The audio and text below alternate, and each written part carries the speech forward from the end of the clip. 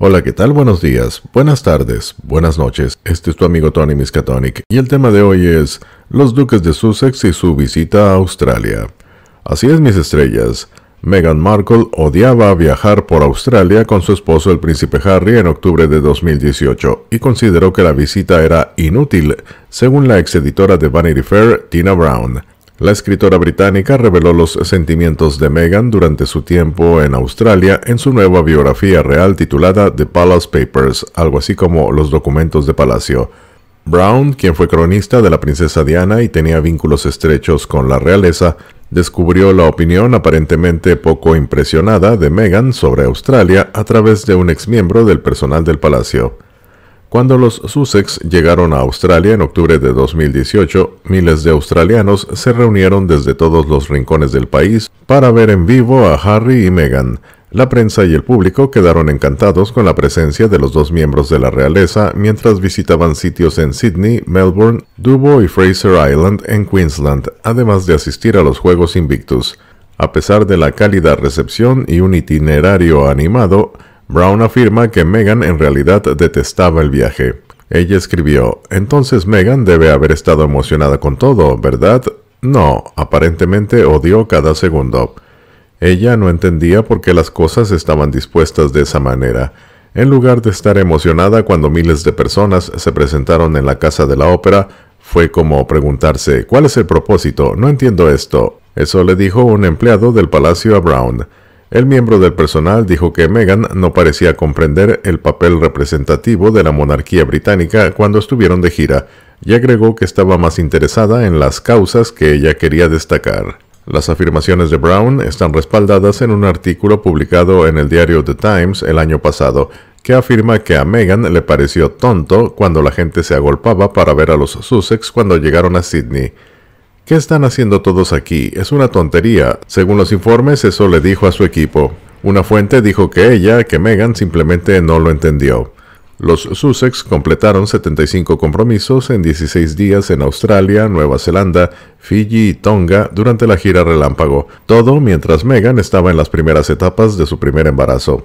A menudo se les representaba teniendo conversaciones íntimas, abrazando a sus fans o recibiendo numerosos regalos de sus admiradores durante su estancia en Australia.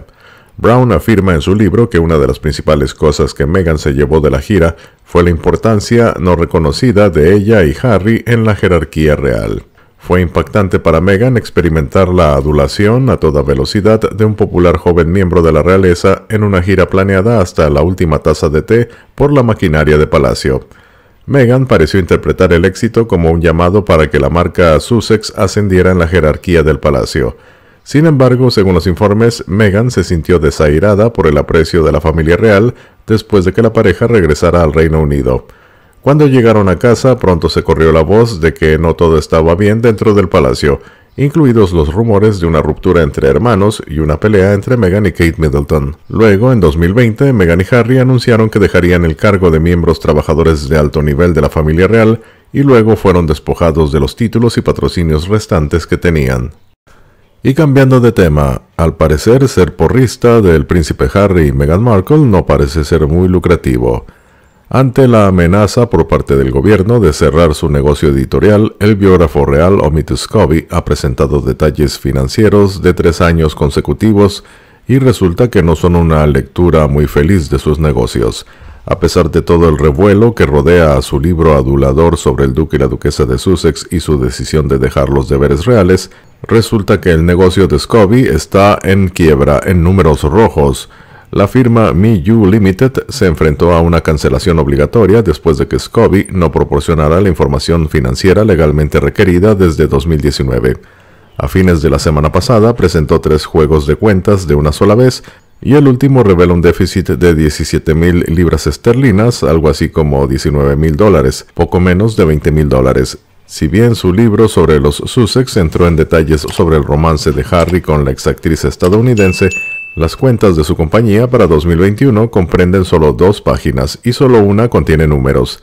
Informan sobre 4.000 libras esterlinas en activos, es decir, poco menos de 5.000 dólares, y facturas de 20.000 libras que deben pagarse dentro del año. El déficit de su capital y reservas supone un aumento de las 15.840 libras esterlinas reportadas para 2020, mientras que en las cuentas de 2019 fue de 2.600 libras esterlinas positivas, es decir, solo eso fue lo que tuvo como ganancia.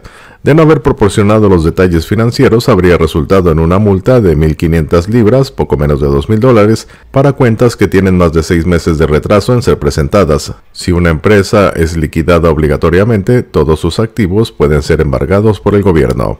Ex escritor de la revista de chismes de celebridades llamada Hit, Scobie no es un hombre de detalles. En agosto de 2020 le dijo a The Times que acababa de cumplir 33 años.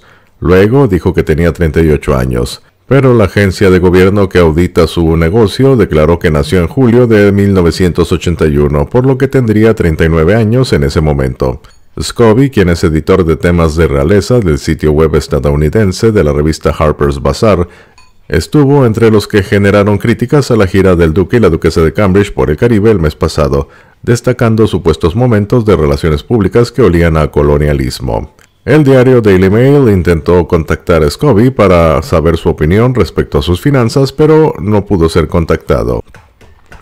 Y cambiando de tema, vamos con los reyes de Bélgica. Así es, mis estrellas. La reina Matilde de Bélgica, de 49 años, mostró sus credenciales de estilo con un elegante vestido azul y blanco con cinturón que combinó con un gran sombrero de verano tejido para mantener a raya al sol abrasador. La pareja sonrió mientras posaban frente al templo de Poseidón en el segundo día de una visita de estado de tres días.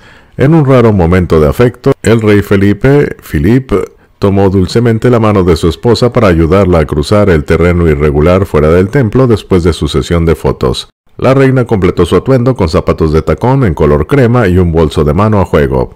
Su Majestad, que es la primera reina consorte de nacionalidad belga nativa, llevó sus cabellos rubios sueltos y optó por un look de maquillaje natural. Mientras tanto, el rey Felipe optó por un conjunto de saco y pantalón en color canela que combinó con una camisa azul claro y una corbata color salmón. El rey completó su look con zapatos formales de cuero en color marrón y un pañuelo de bolsillo blanco. La pareja se encuentra de viaje oficial en este país del Mediterráneo.